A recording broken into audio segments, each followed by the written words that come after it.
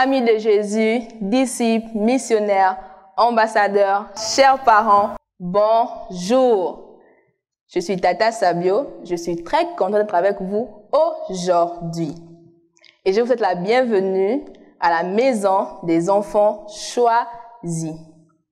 Aujourd'hui, nous aurons des belles choses à partager ensemble. Mais avant cela, on va d'abord prier.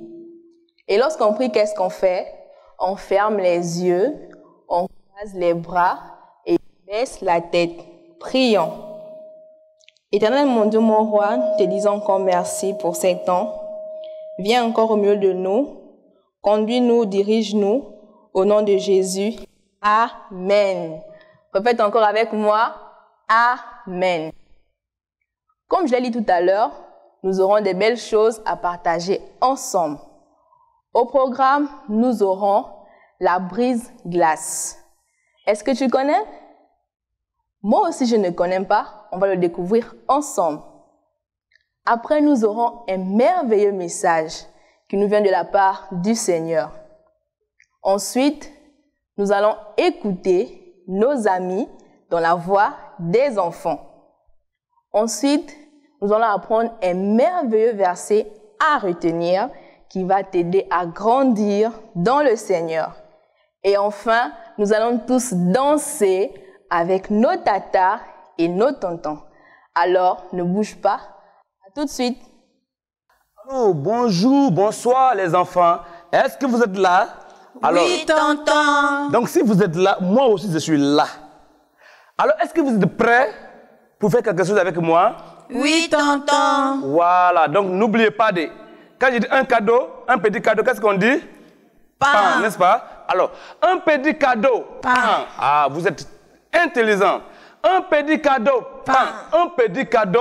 Pain. Un petit cadeau. Pain. Applaudissez pour Jésus. Pain, pain, Pain. pain, pain, pain. Ouh.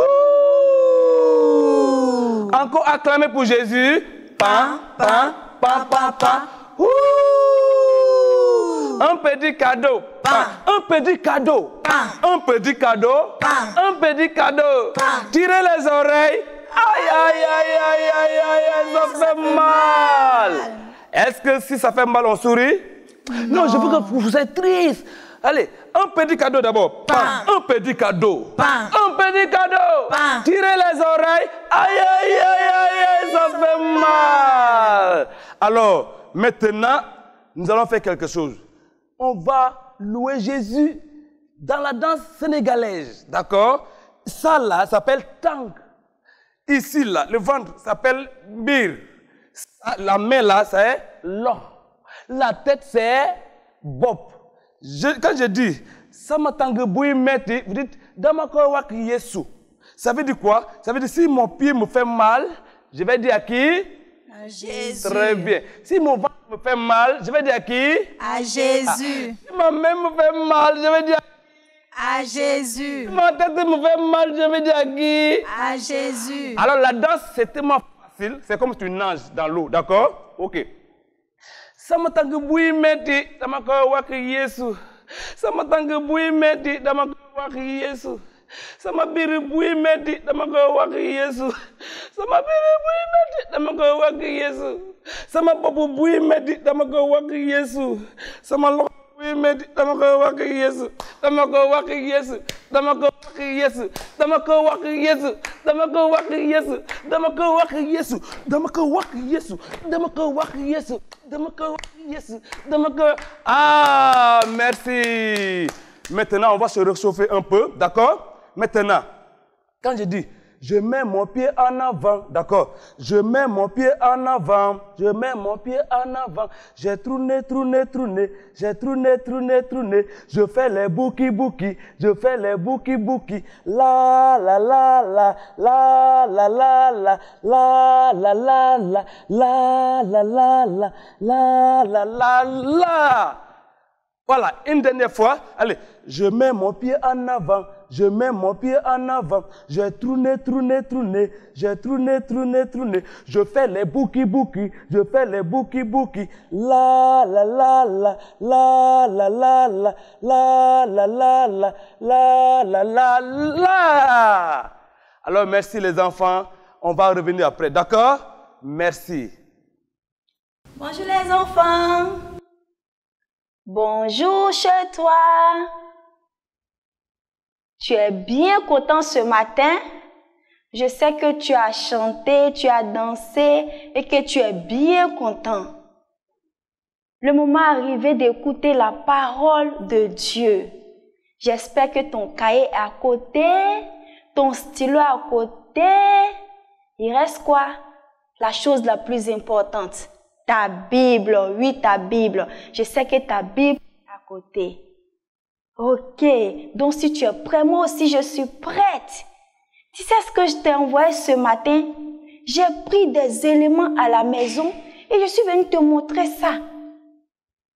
Tu vas me suivre et tu vas bien comprendre.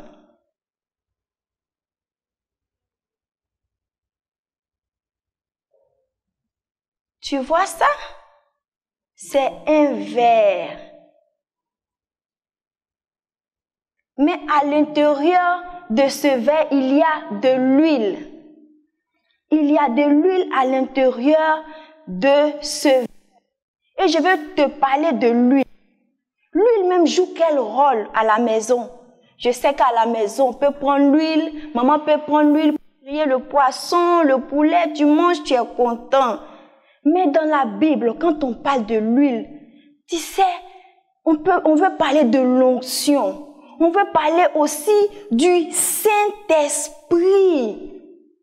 Le Saint-Esprit. Quand on parle de lui dans la Bible, on veut parler aussi du Saint-Esprit. On veut parler aussi de Dieu. Dieu, il est en même temps le Saint-Esprit. Dieu et le Saint-Esprit, ils sont pas différents. Dieu même c'est qui? Dieu c'est le créateur, celui qui a créé choses naturelles. Dieu a créé les arbres, il a créé les animaux, il a créé l'eau, il a créé les montagnes et Dieu a créé l'homme. Il t'a créé, il m'a créé. C'est lui qui a créé papa, lui qui a créé maman. Et ce Dieu-là, c'est un Dieu d'amour. La Bible nous dit que de loin l'éternel se montre à moi.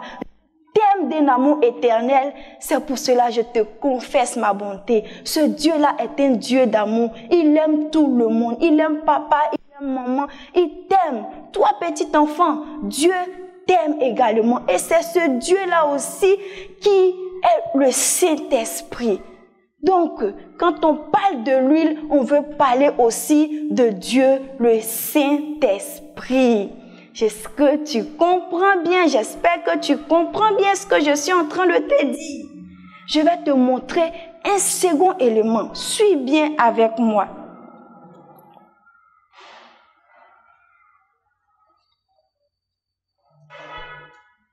Tu vois, c'est bien rond comme ça. Ça te fait penser à quoi? Je sais que tu réfléchis, tu te dis ballon. Hmm, non. Ce matin, ce bien que tu vois, je veux parler de la terre. Et c'est Dieu, le créateur là, qui a créé la terre. Il a créé la terre. Et la terre même, qui vit même sur la terre. C'est vrai que les animaux aussi sont là, mais les hommes aussi sont sur la terre. Les hommes vivent sur la terre. Et la Bible nous dit que tout ce qui est né de la chair est chair. Et ce qui est né de l'esprit est esprit. Ça veut dire dans ce monde que tu vois là, les hommes qui y vivent, parfois on fait des choses qui sont pas bien. La Bible dit qu'à tous son péché sont privés de la gloire de Dieu. Les hommes ont fait des choses qui sont pas bien. C'est ça la Bible appelle le péché. Quand tu mens, tu voles, ou, même parfois tu tu dis, mais mon ami là, mais il m'énerve. Ou bien, pourquoi est-ce que c'est lui qui a telle chose, je n'ai pas telle chose? Ça, c'est pas bien. C'est le péché. Et c'est l'homme qui vit sur cette terre. Je vais continuer à un autre élément. Tu as vu l'huile? Est dans quoi? Est dans un verre. Et ce verre ici, je vais te parler de Jésus-Christ. Je t'ai dit, quand on parle ici de l'huile, je vais parler de l'onction, je vais te parler du Saint-Esprit et de Dieu, mais aussi de Jésus. Donc c'est ce pourquoi le verre dans lequel il y a l'huile, je vais te parler de Jésus, parce que Jésus même c'est qui? C'est le De Dieu. Le Fils de Dieu. Jésus est il était bébé aussi. Il a joué aussi parce que lui aussi, il avait des amis, il jouait. Mais Jésus n'a jamais fait ce qui est malin. Jésus n'a jamais dit à son ami, toi va là-bas, ce que tu fais, j'aime pas. Non. Jésus faisait tout ce qui était bien. Il a grandi. Jésus a ressuscité les morts. Jésus a guéri les gens qui malades. Les gens avaient faim. Jésus leur a donné à manger. Jésus vraiment aimait tout le monde. Mais tu sais quoi? Le monde, les gens sont méchants. Ils sont venus comme ça, comme ça, pendant que Jésus n'a rien fait du tout. Ils sont venus attraper Jésus. Ils l'ont chicoté. Ont chicoté Jésus. Ah, ça faisait mal. Il avait mal. Mais Jésus n'a rien dit. Il n'a même pas insulté quelqu'un. Il n'a même pas dit pourquoi vous faites ça, pourquoi vous faites ça? Jésus n'a rien dit de tout cela. Ils se sont pas arrêtés là-haut pendant que Jésus avait mal. Mais ils ont jusqu'à l'envoyer sur la croix. Oh! Ils ont envoyé Jésus sur la croix. Tu sais ce qu'ils ont fait? La croix, c'est deux grands bois comme ça. Il y a un bois comme ça et à l'autre comme ça. Ils ont pris une pointe. Hmm. Ils ont tapé, tapé, tapé. Waouh, ça faisait mal. Ils ont tapé dans le deuxième bois. Ça faisait mal. Ils ont tapé dans ses pieds. Et le sang de Jésus a coulé. C'est le sang de Jésus qui a coulé à la croix là, qui te lave de tout péché. Et à la croix, Jésus est mort. Oh! Hmm. Mais quand il est mort, ils l'ont pris, ils l'ont mis au tombeau. Jésus a fait un jour dans le tombeau, deux jours dans le tombeau. Mais tu sais quoi, le troisième jour, Jésus est ressuscité. Il est venu à la vie. Il est là, il n'est plus mort, il est ressuscité. Il est venu, il a été avec ses disciples encore. Il a passer du temps avec eux, mais après Jésus est monté au ciel. Et quand Jésus est monté au ciel, en ce moment où je te parle, il est roi là-bas. Et un jour, il va revenir chercher ses enfants. Jésus va revenir chercher ses enfants. Je vais te présenter quelque chose. Quand je te parle de Jésus, il va venir chercher ses enfants. Tu vois ça, c'est un coton. Tu vois comment le coton est Le coton même te fait penser à quoi? On prend ça pour soigner la plaie. C'est ça. Mais je veux te parler de l'aspect du coton. Tu vois comment le coton est propre. Le coton est propre, bien propre. Il n'y a pas de taches sur le coton. C'est bien propre. Très bien propre le coton. Toi qui es enfant de Dieu, qui as déjà accepté le Seigneur Jésus comme ton Seigneur et ton Sauveur personnel, tu es propre comme ça. Vrai que tu étais d'abord dans le monde, mais tu es sorti de ce monde parce que le sang de Jésus t'a lavé et tu es devenu propre comme le coton. Tu es devenu propre. Et le Seigneur Jésus te demande d'aller par tout le monde pour annoncer sa bonne nouvelle. Jésus te demande d'aller par tout le monde pour annoncer sa bonne nouvelle. Et ce que tu vas faire, c'est que tu peux pas y aller tout seul comme ça. C'est l'Esprit de Dieu en toi. Quand j'ai parlé de l'huile, il y a aussi l'Esprit de Dieu en toi. La parole de Dieu, l'Esprit de Dieu en toi qui va t'aider à aller par tout le monde pour apporter la bonne nouvelle. Ici, l'huile. Tu vas prendre l'huile comme ça et tu vas venir ici. L'huile, c'est le Saint-Esprit qui te donne la force et c'est Dieu, en même temps la parole de Dieu. Donc, quand tu es devenu propre, tu prends. Parce que toi aussi, tu dois aller annoncer la bonne nouvelle à tout le monde. Tu commences à annoncer la parole de Dieu. Tu annonces. Tu annonces. Parce que tout le monde entier doit recevoir la parole de Dieu, doit entendre la bonne nouvelle de Jésus. Donc tu vas, tu annonces la parole de Dieu. Tu annonces la parole de Dieu. Tu annonces la parole de Dieu. Tu annonces la parole de Dieu. Tu vois, tu annonces la parole de Dieu partout, partout autour de toi. Quand tu annonces la parole de Dieu, ton ami aussi annonce la parole de Dieu. Chaque enfant de l'école des dimanches, il annonce la parole de Dieu. Tu sais ce qui va arriver. Oh. À la fin, qu'est-ce que tu vois là? La parole de Dieu a pris tout le monde, tout le monde, tout le monde, tout le monde entier va entendre la bonne nouvelle de Jésus-Christ.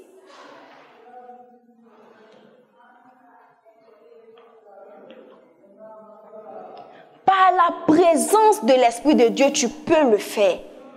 Le Saint-Esprit en toi peut te rendre capable. Comme le jour de la Pentecôte. Ce jour-là, les disciples de Jésus le Saint-Esprit est venu sur eux, ils ont eu la force. Et il y a l'un des apôtres, il est sorti pour parler de Jésus ce jour-là. Et beaucoup de personnes ont reçu Jésus. Tu peux annoncer la parole de Dieu. Parce que c'est ce que le Seigneur te demande en tant qu'enfant de Dieu. Mais c'est le Saint-Esprit qui peut te rendre capable de le faire. C'est le Saint-Esprit qui peut te donner la force d'aller évangéliser. Mais parfois tu peux dire, mais comment je peux faire aussi? Mais tu peux aussi soutenir les missionnaires. Le fait de soutenir les missionnaires, tu es en train d'aussi annoncer la bonne nouvelle. Mais tu vas dire, mais peux soutenir les missionnaires comment? Si à la maison, tu as ton habit, tu sais que habit là, c'est devenu petit, pas parce que c'est déchiré. C'est joli, c'est encore propre, mais c'est devenu petit. Ou bien il y a ma chaussure, j'aime bien, mais c'est devenu petit, je peux pas porter. Tu envoies au tata et au tonton, tonton, je veux prendre ça pour soutenir la mission. Et tu envoies. Tu es en train d'aller comme ça parce que le fait de faire ça, ça va aider aussi ceux qui sont déjà en train d'annoncer la parole de Dieu. Donc c'est ta manière aussi à toi d'annoncer la parole de Dieu. Aussi, tu peux prier pour ceux qui sont déjà en train d'évangéliser. Quand tu te lèves, tu pries pour eux, les missionnaires, tout en te souvenant de ton doigt. Tu, lèves le doigt et tu pries aussi pour les missionnaires parce qu'aussi sont les hommes de Dieu. Donc tu pries pour eux. Ainsi, tu es en train d'annoncer la parole de Dieu, tu es en train d'évangéliser, tu es en train d'évangéliser, donner la bonne nouvelle de Jésus aussi à ta manière. Cette bonne nouvelle est pour toi. Toi qui n'as pas encore accepté le Seigneur Jésus, tu es encore dans le monde, tu fais encore les mauvaises choses. Ce que Dieu n'aime pas, tu es encore dedans. Tu mens encore, tu voles encore. Tu te dis comment je vais faire? La Bible nous dit que, mais à tous ceux qui l'ont reçu, à ceux qui croient en son nom, il leur a donné le pouvoir de devenir enfants de Dieu. Si tu veux devenir enfant de Dieu toi aussi, et que tu veux sortir de ce monde-là où le péché a pris partout, toi tu veux devenir propre, c'est possible. Tu vas te mettre à genoux et on va prier ensemble pour que tu deviennes enfant de Dieu. Donc tu te mets à genoux et tu fermes les yeux. On va prier ensemble. Seigneur Jésus, je veux te prier pour mon enfant qui s'est mis à genoux aujourd'hui. Il a écouté ta parole. Et aujourd'hui, il veut se donner à toi. Il veut devenir ton enfant. Il veut t'accepter comme son Seigneur et son Sauveur personnel. Merci de le laver par ton sang précieux. Merci parce que tu permets qu'il soit ton enfant maintenant. Au nom de Jésus-Christ. Amen. J'espère que tu as bien retenu tout ce qui a été dit. Je vais te laisser un tout petit exercice. Tu vas peut-être appeler tonton Joël, tu vas peut-être appeler les tatas. Tu vas dire que moi aussi, je veux annoncer la bonne nouvelle en envoyant peut-être ma chaussure que je ne porte plus, mais qui est encore bien. Ou bien en envoyant mon habit qui est encore bien. Mais aussi, prier. Donc, pendant cette semaine, prie aussi pour les missionnaires. Seigneur Jésus, ceux qui sont en train d'évangéliser, soutiens-les, sois avec eux. Que le Seigneur Jésus te bénisse parce que je sais que tu as été content et que tu as bien compris. Je t'aime beaucoup. Les enfants, nous allons écouter nos amis de l'école de dimanche qui vont nous aider avec deux questions concernant la leçon d'aujourd'hui. La première question, est-ce que les enfants ont aussi besoin du Saint-Esprit? Deuxième question, comment aimerais-tu voir le Seigneur utiliser les enfants de l'école de dimanche pour sauver notre nation?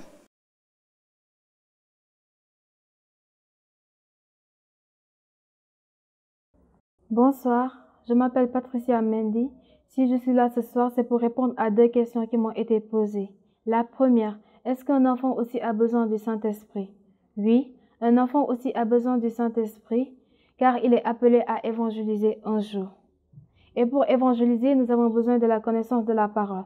Or, la connaissance de la parole, ça vient du Saint-Esprit. Sur ce, je m'en vais lire dans Joël 2, 28, qui dit, Après cela, je répandrai mon esprit sur toute chair, vos fils et vos filles prophétiseront, vos vieillards auront des songes et vos jeunes gens des visions. Ce passage nous montre la promesse de l'Esprit faite aux humains. Et nous comprenons essentiellement deux choses. La première, Dieu, en faisant la promesse de l'Esprit aux humains, n'a pas oublié les enfants. C'est-à-dire que les enfants sont également dans le choix de Dieu, dans les enfants sont aussi dans, le choix de Dieu pour le Saint-Esprit. Deuxièmement, dans ce passage, nous voyons que ce n'est qu'après avoir reçu le Saint-Esprit que les signes se produisent, notamment les visions, la prophétie ainsi que les songes. En guise de conclusion, nous pouvons dire que l'enfant ne peut pas évangéliser efficacement s'il n'a pas reçu le Saint-Esprit en lui. La deuxième question, Comment aimerais-tu voir le Seigneur utiliser les enfants de l'école du dimanche pour le salut de ton pays? Mon pays, c'est le Sénégal. Et j'aimerais que chaque enfant soit un billet par lequel le Seigneur passera pour impacter, pour répandre la bonne nouvelle, ainsi que pour sauver des âmes. Maintenant, j'aimerais que, que, là où tu te trouves, que tu puisses prier avec moi. Le sujet est que le Seigneur, que chaque enfant soit un modèle pour sa génération, ainsi que chaque enfant fasse la, volonté de Dieu. Prions. Père éternel, Dieu de gloire, nous te bénissons encore, t'en rendant toute la gloire, te disons merci éternel Dieu de gloire, car tu nous as choisis. Merci éternel Dieu de gloire, car nous sommes tes enfants éternel Dieu de gloire. Merci car tu réponds à ton esprit dans, dans toute chair éternel Dieu de gloire. Maintenant, j'aimerais que chaque enfant éternel Dieu de gloire soit un modèle par Dieu de gloire, un billet par lequel, par éternel Dieu de gloire, tu passeras pour impacté, éternel Dieu de gloire. Que chaque enfant soit un exemple dans son entourage, Père Dieu de gloire. Que là où qu'il soit, Père Dieu de gloire, qu'il soit repéré, qu'il soit distingué positivement, éternel Dieu de gloire. Oh, je te bénis encore tant toute la gloire, te dis merci, Père de gloire. Que chaque enfant, Père Dieu de gloire, soit enraciné dans ta parole, éternel Dieu de gloire, afin qu'il ne se détourne point du droit chemin. Je te bénis encore tant toute la gloire, te dis merci, que l'honneur, la gloire, la majesté te reviennent, Père, pour les siècles des siècles. Amen. Shalom, shalom, je m'appelle Christine Mendy. Je suis là pour répondre à deux questions. Première question, est-ce qu'un enfant a besoin du Saint-Esprit? Oui. Si nous nous référons à Marc le chapitre 13, le verset 11, lisons ensemble. Quand on vous amènera pour vous livrer, ne vous inquiétez pas d'avance de ce que vous aurez à dire, mais dites ce qui vous sera donné à l'heure même, car ce n'est pas vous qui parlerez, mais l'Esprit Saint. Amen. On voit clairement que le Saint-Esprit nous aide à faire la volonté de Dieu. Et nous savons aussi que Christ est l'Évangile. Et il nous a laissé le Saint-Esprit pour remplir nos vies. De plus, dans Matthieu le chapitre 26, le verset 39 à 46, nous voyons que Christ, malgré sa tristesse, la tâche, sa tâche que le Père lui a demandé, il insistait à ce que la volonté de son Père s'accomplisse. Et pour résumer, sans le Saint-Esprit, nous ne pouvons pas faire la volonté de Dieu. Bon, nous allons passer à la deuxième question.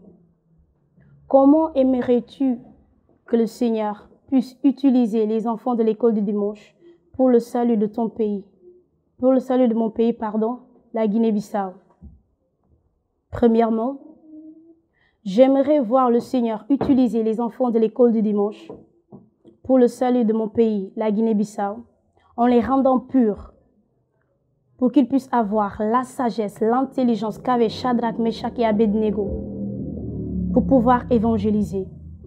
Deuxièmement, j'aimerais voir les enfants de l'école du dimanche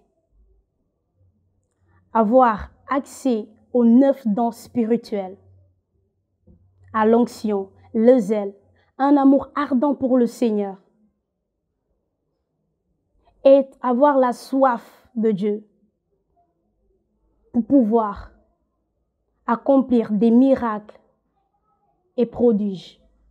Et pour terminer, j'aimerais que les enfants de l'école du dimanche puissent être enracinés dans la parole de Dieu, car la parole de Dieu est vie et lumière. J'aimerais aussi que les enfants de l'école du dimanche puissent être des sentinelles, des flammes de feu et des vrais évangélistes. Sur ce, nous allons prier, mes amis, priez avec moi. On baisse la tête et on prie. Nous allons prier pour que le Seigneur puisse permettre à ce que les enfants de l'école du dimanche puissent faire la volonté, que la volonté de Dieu. Prions. Éternel Dieu de gloire, nous te prions, nous te supplions. Aide les enfants de l'écodime à faire ta volonté, à faire ce que tu attends d'eux. Éternel Dieu de gloire, Seigneur Jésus-Christ de Nazareth, toi qui as accepté de faire la volonté de ton Père, nous aussi, nous voulons faire ta volonté, car tu es notre Père. Malgré la tristesse, et la tâche que ton Père t'a demandé. Tu insistais à ce que sa volonté soit faite. Nous aussi qui sommes tes enfants, nous voulons faire ta volonté malgré la tristesse et la tâche, quelles que soient les difficultés. Seigneur, aide-nous à faire ta volonté, car nous n'avons que toi. Amen. Shalom, shalom. C'est la cellule de Bentali. Nous sommes là pour chanter quelques chansons pour le salut de notre pays, le Sénégal et la Guinée-Bissau. Merci.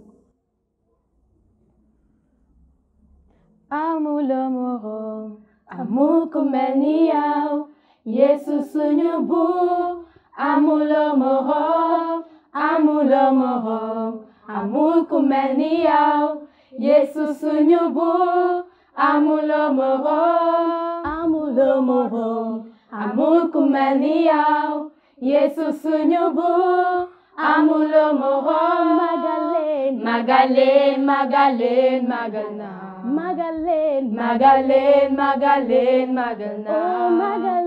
Magalen, Magalen, Magdalena. Yesu. Magalen, Magalen, Magalna. Amula moro moi. Yesu moi jamba. Amula moro me. 예수 moi jamba. moi jamba. 예수 moi jamba. 예수 moi jamba. 예수 moi jamba.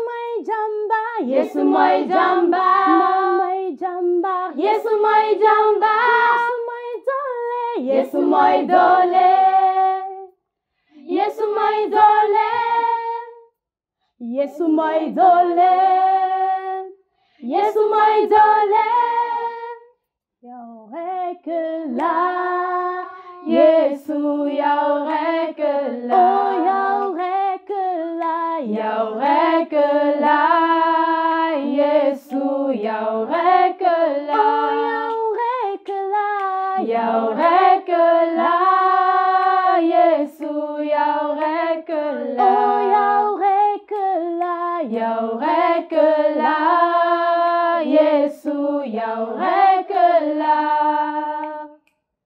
ci Sénégal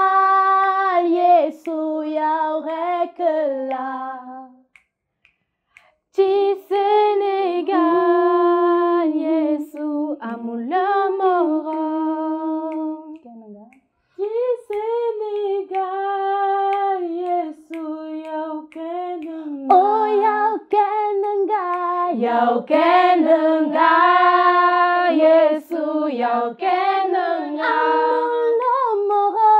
阿姆勒摩诃，耶稣阿姆勒摩诃，阿姆勒摩诃，阿姆勒摩诃，耶稣阿姆勒摩诃，有嘅能啊，有嘅。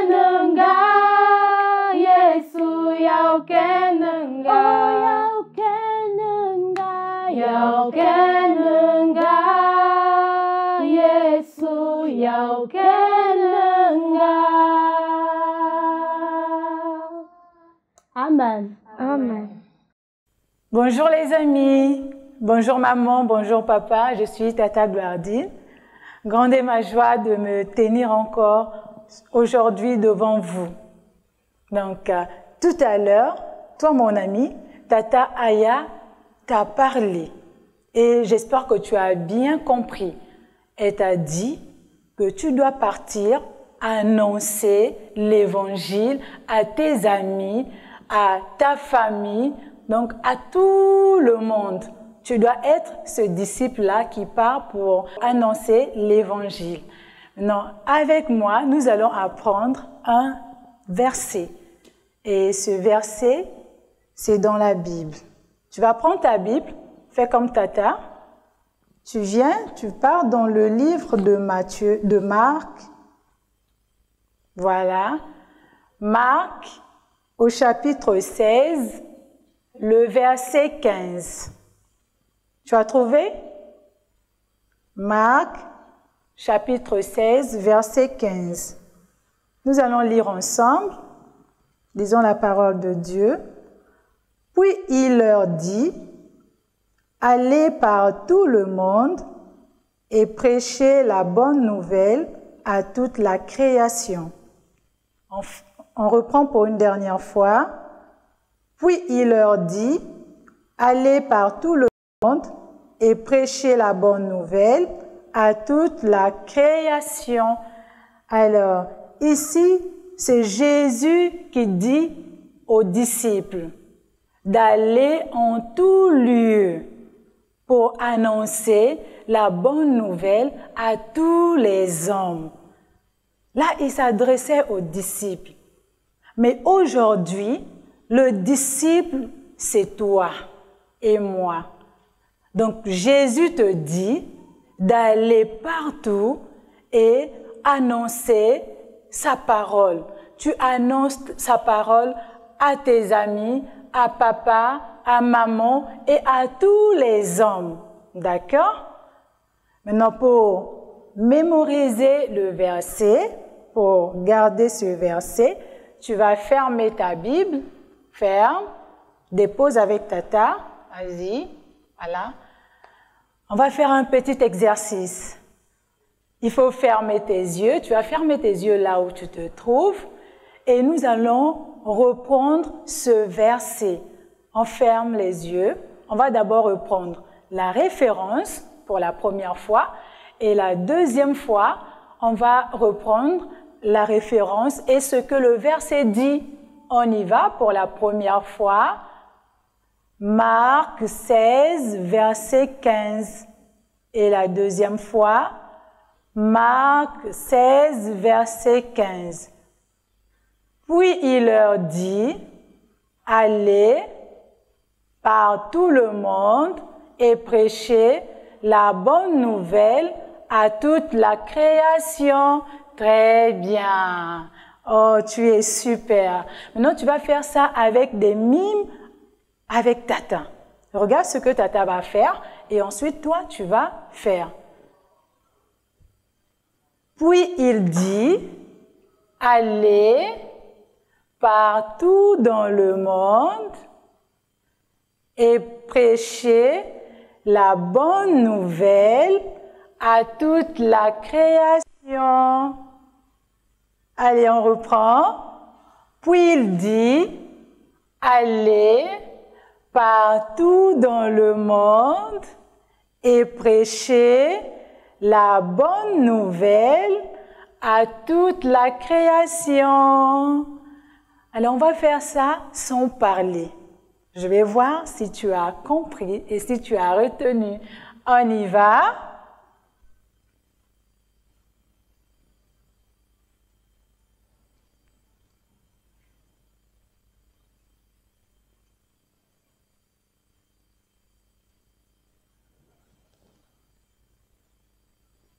Très bien, non, je suis fière de toi, je suis fière de toi. On va reprendre pour une dernière fois. Là, on va répéter le verset. Hein. On y va. Puis il dit, allez partout dans le monde et prêchez la bonne nouvelle à toute la création. Oh, c'est super, c'est super, c'est super. Alors, avant de te quitter, j'aimerais qu'on prie. On va prier et tels les disciples qui priaient dans la chambre haute et le Saint-Esprit est survenu sur eux. Il les a remplis. Toi et moi, aujourd'hui, on va prier, on va faire la même chose tu vas prier pour toi. Tu vas dire à Dieu de te remplir encore de, son Esprit Saint. Est-ce que tu me suis? Donc tu vas dire à Dieu de te remplir comme il a rempli les disciples dans la chambre haute. Toi aussi, il doit te remplir là où tu te trouves. Alors qu'est-ce que tu vas faire déjà? Tu vas fermer tes yeux tu vas croiser tes bras et tu vas baisser ta tête. On va prier ensemble. Seigneur, nous te bénissons pour ta parole. Nous te rendons toute la gloire. Comme tu nous as appris encore aujourd'hui que les apôtres étaient dans la chambre haute, ils étaient en train de prier et le Saint-Esprit est descendu sur eux. Il les a remplis et que chacun d'eux était rempli du Saint-Esprit et il commençait à parler dans d'autres langues. Alors que ce soir aussi, moi, me voici Seigneur, j'ai aussi besoin que tu me remplisses de ton Esprit Saint. Remplis-moi encore ce soir. Remplis-moi encore ce soir. J'ai besoin de ton Saint-Esprit afin de parler de toi, afin d'être encore, d'être rempli de ton courage. Seigneur, remplis-moi encore ce soir. J'ai besoin de toi. Souviens-toi aussi de mon ami. Remplis-lui aussi de ton Esprit Saint afin qu'il aille et qu'il parle aussi de toi comme l'ont fait les apôtres. Au nom de Jésus. Amen. Amen. Amen. Amen. Que Dieu vous bénisse. La Pentecôte, c'est l'un des plus grands